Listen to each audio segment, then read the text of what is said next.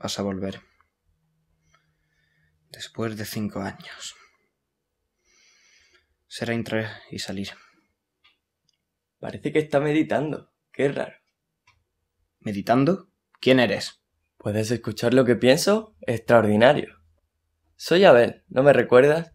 La verdad es que hace algunos años. No sé quién eres, no te conozco. Puede ser, pero yo a ti sí. He leído mucho acerca de ti.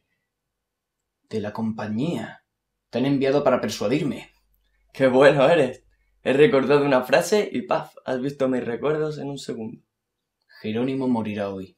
No podrás evitarlo. Me da igual que mates a Jerónimo. Yo no quiero que vayas porque creo que no te conviene. Déjame en paz. No, en serio.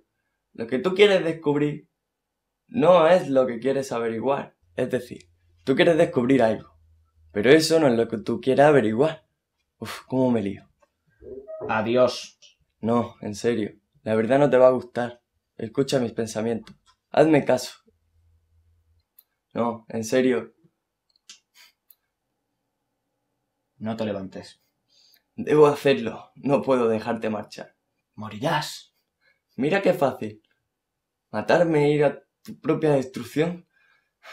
O olvidar la compañía para siempre. Jamás.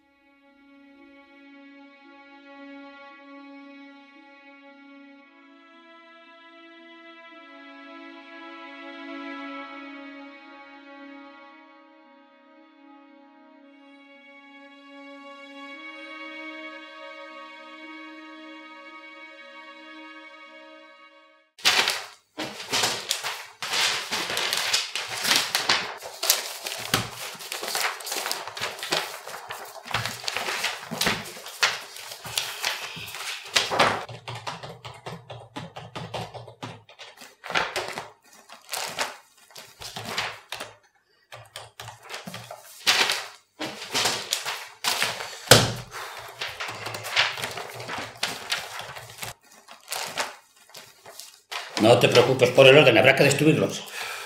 Los análisis bioquímicos del martes también.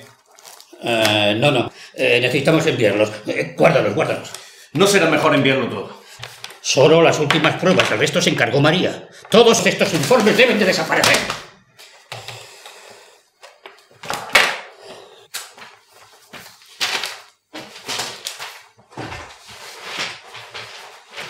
Ah, hola Rosa, gracias por venir.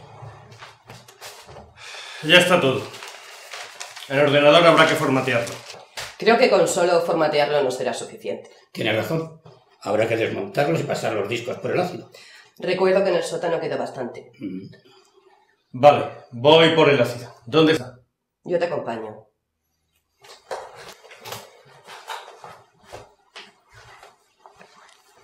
Señor, voy con Rosa por el ácido.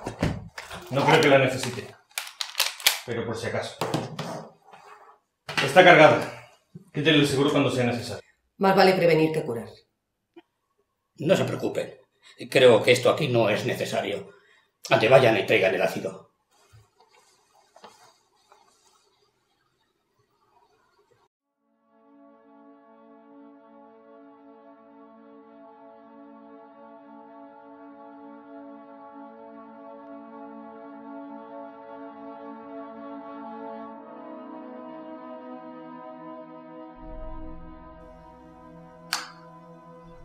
No es nada personal. Pero la compañía no puede permitirse nada fuera de control.